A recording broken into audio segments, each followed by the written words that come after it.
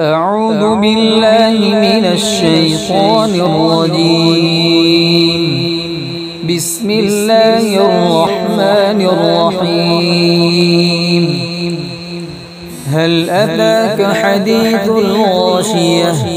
وجوه يومئذ خاشعة عاملة ناصبة. تصلى نارا حامية تسقى من عين آنية. ليس لهم طعام إلا من ضريع لا يسمن ولا يغني.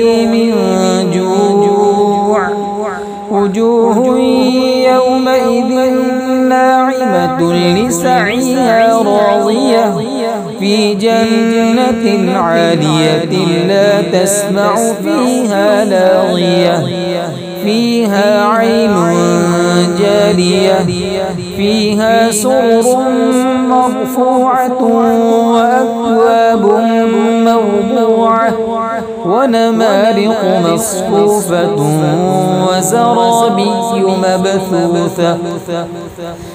أفلا ينظرون إلى الإبل كيف خلقت وإلى السماء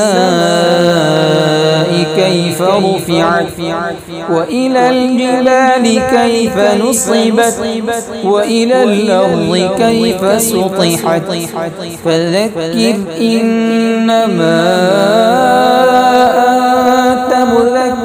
لست عليهم بمسيطر إلا من تولى وكفر. فيعذبه الله العذاب الأكبر. إن إلينا إيابهم. ثم إن علينا حسابهم.